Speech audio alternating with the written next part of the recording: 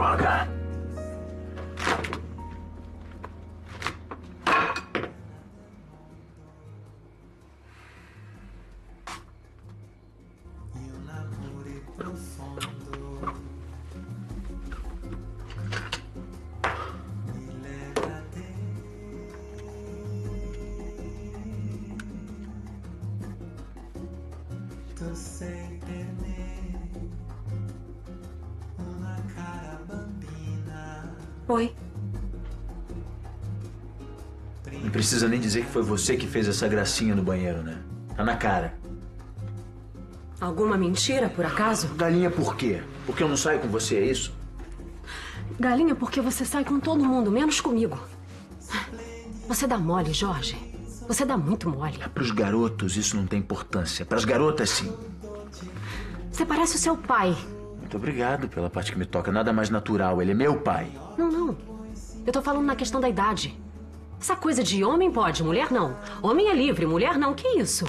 Isso é pensamento de velho, Jorge, de quem tá por fora do que tá acontecendo no mundo. Bom, Sandra, tudo bem. Muito obrigado pelo sermão, mas eu tô com sono. Preciso dormir. Vai, já tá tarde. Por que, que você é tão inconstante? Hein? Tão volúvel? Lá em Petrópolis, tava de um jeito. Aqui, outro. Eu não me comporto do mesmo jeito todos os dias. Aliás, ninguém se comporta. Mesmo no amor? Ninguém aqui falou de amor.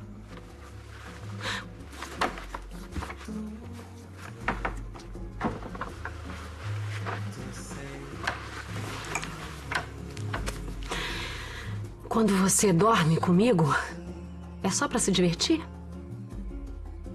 É só porque você me acha fácil? Não, Sandra, olha, desculpa. É claro que eu não quis dizer isso. Você sabe, eu respeito muito você. Eu quero que você me respeite menos. Sandra. Sandra, a gente tem uma relação de irmão, cara. Isso não é verdade. N- não é verdade, Jorge. Você, você enfiou isso dentro da sua cabeça pra se defender. Tudo bem, a gente. A gente foi criado junto, mas a gente nunca se tratou como irmão. Nunca. Senão.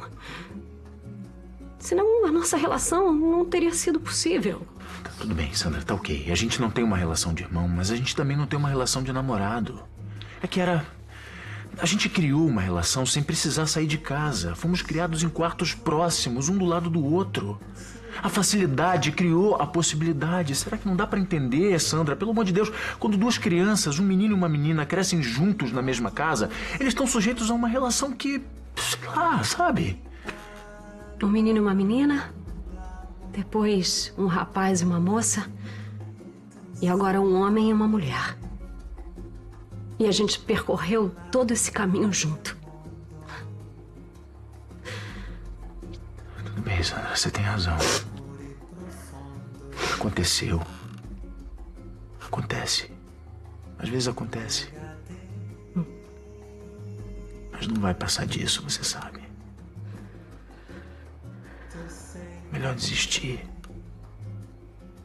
Agora sai, por favor, eu preciso dormir. Eu tô. Eu tô exausto, minha cabeça tá estourando, eu tava num barulho infernal. É,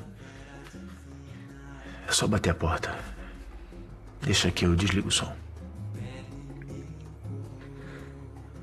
Boa noite, Sandra. Às vezes eu acho que você vai passar a vida inteira se apaixonando por mulheres virtuais. Como essa aí.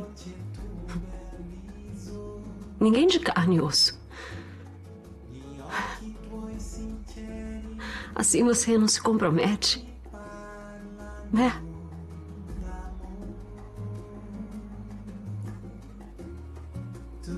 Boa noite. Boa noite.